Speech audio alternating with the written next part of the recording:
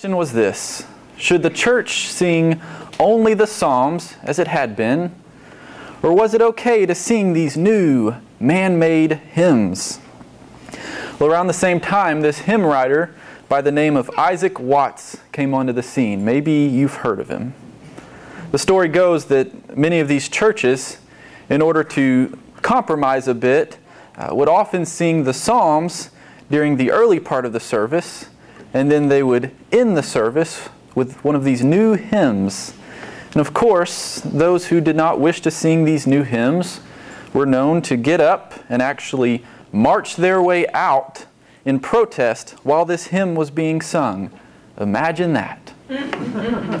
well, Isaac Watts sat down one day in response to this issue, and he wrote the lyrics to what we would probably consider one of the greatest Christian hymns and I want you to hear those lyrics, the lyrical genius that he was. Come we that love the Lord, and let our joys be known. Join in a song with sweet accord, and thus surround the throne. And in verse 2, he gets a jab in. Let those refuse to sing who never knew our God. But children of the heavenly King may speak their joys abroad. And oh, how I would have loved to have been a fly on the wall the day the church joyfully sang, Let those refuse to sing who never knew our God. We're marching to Zion, while these parishioners made a scene by marching out of the church in protest. It's a great story for a great hymn. Perhaps you will see in our parable today a group somewhat similar uh, to this group of parishioners. We read the first two verses that uh, really sets the framework for Jesus' three parables that follow. Now, the tax collectors and sinners were all gathering to hear Jesus, but the Pharisees and teachers of the law muttered or grumbled. This man welcomes sinners and eats with them. Now, there are some familiar personalities here that we see throughout Luke's gospel. The tax collectors and the sinners, uh, it says earlier in Luke, accept God's ways, and the Pharisees and teachers of the law, it says, reject God's purposes. And we saw this a bit in chapter 14 last week with the parable of the great banquet. But we also read in chapter 14 uh, that it concludes with this call Whoever has ears to hear, let them hear. And we open up our chapter this morning with this division between these two groups, with those who have gathered to hear Jesus the sinners, and these righteous few who were gathering to hear themselves grumble about Jesus. And with this, again, the stage is set for Jesus' three parables. The one we will focus on today being the parable of the lost sheep. And in it, you're familiar with the story. There's a shepherd who has lost one of his sheep, and he's faced with this predicament Do I stay here with the 99, or do I go after this one that has been lost. And for him, it's really not much of a question, is it? Of course, of course, you go after the one. And as we read, when he finds it, he, he takes special care of it. He cares for it in a very special way, picking it up and carrying it home on his shoulders.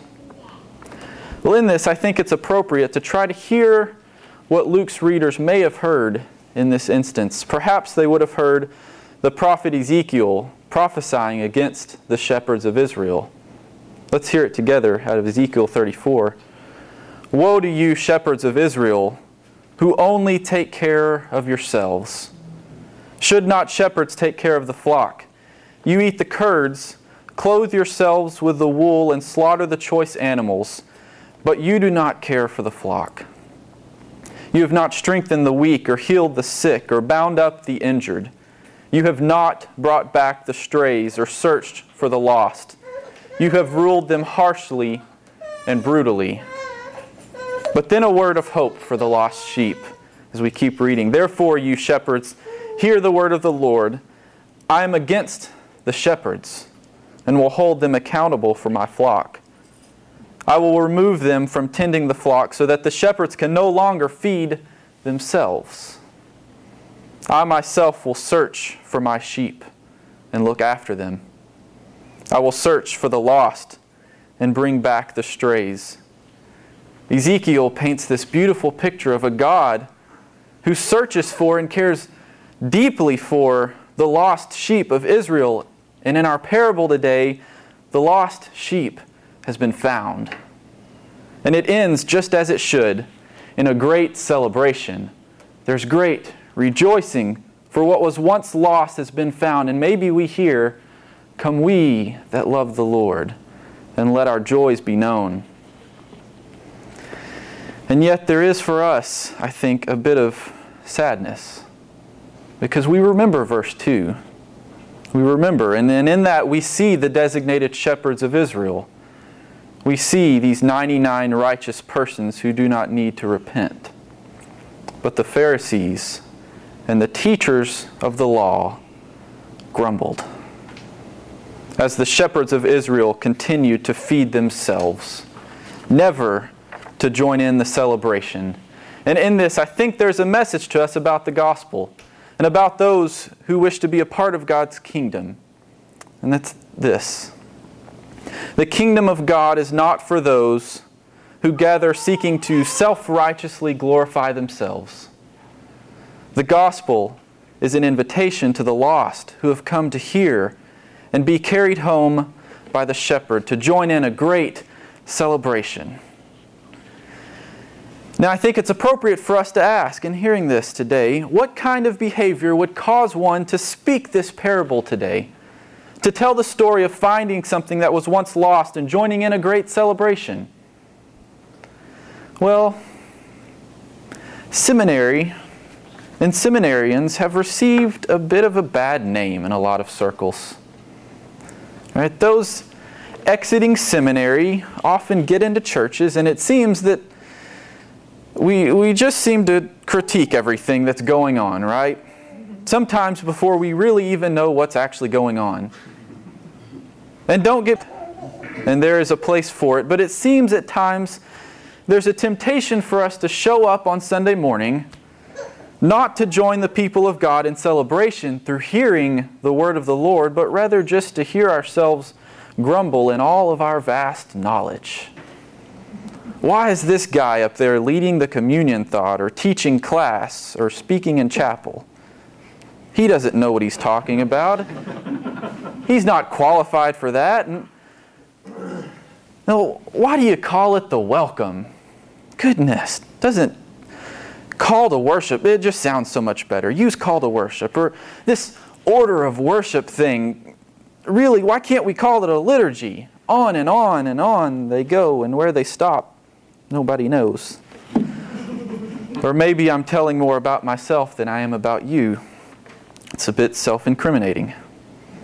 But do you hear the sound of it? Again, there's a place for criticism, but when criticism comes in the form of constant grumbling, that in some self righteous way always seeks to tear others down and lift ourselves up, actually placing ourselves above the church, just looking down on it and, and keeping us from joining in the church and joining in the celebration of Christ's body to the Father, well, then maybe it would be appropriate for us to hear this parable again today. To hear the story of a shepherd who searched for this one lost sheep and carried it home on his shoulders, and in that, to see Jesus. To hear the story of the lowest of the low the tax collectors and sinners who came to hear, and in that to see the church. Or maybe to know that there are those within our congregations who have come indeed to hear, not our own grumbling, but a word from God. To know that there are those who are lost and need one willing to carry them home. And perhaps we would do well to hear it again. To know, to know that the gospel is an invitation to the lost who have come to hear and to be carried home by the shepherd to join in a great celebration, to join in a song with sweet accord, and thus surround the throne. May it be so with us today.